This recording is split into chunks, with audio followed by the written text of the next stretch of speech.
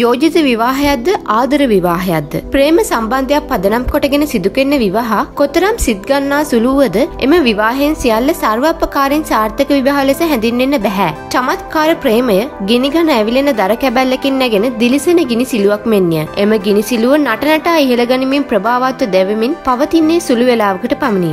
අඹු සැමියන් අතර පවතින ආදරය මීට වෙනස්ය. ඒ ඇවිලෙන්නේ හෙමිහිටය. හරියට උණුසුම ගෙන දෙන අඟුරු කැට දැවෙන්නක් මෙන් හෙමිහිටිය. ඒ දීප්තිමත් ඇවිලෙන ප්‍රේමය ක්‍රම ක්‍රමයෙන් සංසුම් බවට පත් වූ සෙනෙහසකට පෙරලීමට ඉඩ තියෙනවා. ඇත්තින්ම ඒ එසේ විය යුතු නමුත් බොහෝ විට වන්නේ චමත්කාර ප්‍රේමය නිවී යාමයි. ශේෂ වූ අලු සාර්ථක විවාහ ජීවිතයක් සඳහා නම් ශක්තිමත් පදනමක් සපයන්නේ නැහැ. තරුණ අය සිතන්නේ ඔවුන්ගේ චිත්තාවේග ගැන පමණි. මොහොතකට ලැබෙන මිහිරි වින්දනයේ ආලෝකය ඇසුරෙන් තමයි ඔවුන් ඔවුන්ව දකින්නේ. ඔවුන් දකින්නේ චමත්කාරය පමණි. විවාහයෙන් පසු ගත කිරීමට සිදුවන ජීවිතය මේ චමත්කාර ලෝකෙන් කෙතරම් දුරස්තද?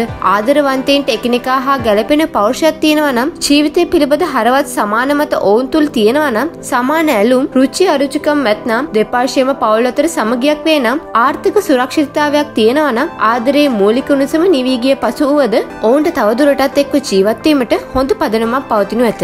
ඒත් මෙවන් වාසනාවක් නොවුනහොත් ඔවුන්ට විවාහයේ අසාර්ථකත්වයට මුහුණ දීමට සිදුවෙන ඇත. ආචාර්ය නික්යෝ නිවානෝ ජපන් ජාතික සුප්‍රකට ලේඛකයෙකි. ඔහු විසින් රචනා කරන ලද රිචර් ලයිෆ් නම් කෘතියෙන් බටහිර රටවල පවත්න ආදරය හා විවාහය පිළිබඳ විවිධ අදහස් දක්වලා තියෙනවා.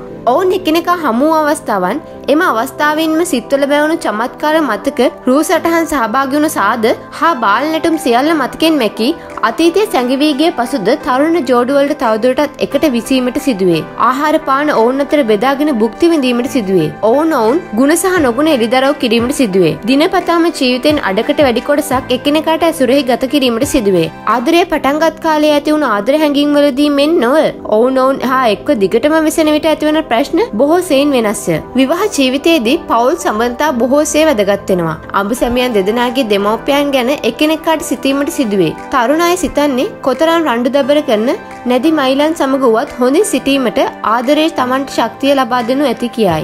එහෙත් මේ සෑම විට මෙලෙසම සිදු නොවේ. කොටින්ම කිවහොත් චමත්කාර ආලය කෙටිකාලිනෑ. ඒ අතාර්ථය මුල් බැසගත් දෙයක් නොවේ. යුවලක් ඔවුනොවුන්ට භක්තිවන් බැද තැබීමට නම් ඔවුන්ගේ කාර්යභාරය ඔවුන්ගේ පරිසරට යෝග්‍යවන අන්දමට ආදරය හසුරුවා සකසා ගත යුතුය. ආදරය කිරීමට පටන්ගන්නා කාලේ විවාහ වීමෙන් අනතුරව පවතින ආදර බැදීම් දෙයක් කාරය. එකිනෙකට වෙනස්ය. එක් ආදරයක් අනික් ආදරසේ වර්ධවා ගැනීම කරදරවලටද අතවැනීමකි. තම අනාගත සහකරුවා හෝ සහකාරය පිළිබඳව අපක්ෂපාතිව කල්පනා කළ යුත්තේ විවාහයට පෙරය.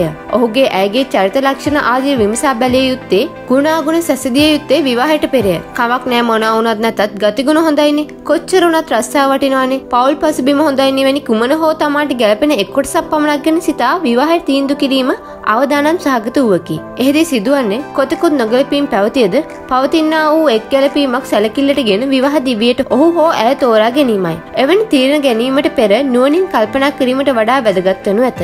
යම් හේකින් පවතින නොගැලපීම් ගැන නොසිතා ගැලපීම් ගැන පමණ සිතා ඔබ විවාහපත් වූවයි සිතන්න.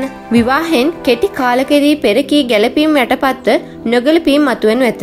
ඒ විවාහ ජීවිතය දෙදරා යාමට හේතුවන ඇත.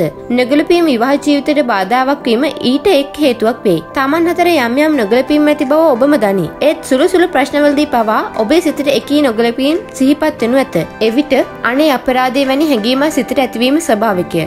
එම නිසා යම් නොගැලපීම් ඇතනම් ඒවා සහමුලින්ම සිතින් ඉවත් කර දැමීමට උත්සාහ සහෝදරිම ඉතා වැදගත්තේ. නොයසේ නම් ඔබේ ජීවිතය නීරස වනු ඇත. හැමදාම් අපි දාන වීඩියස් බලන් කැමතිනම් පහල තියෙන රතුපාට බට්නක බල අපිට සබස්ක්‍රයිබ් කරන්න.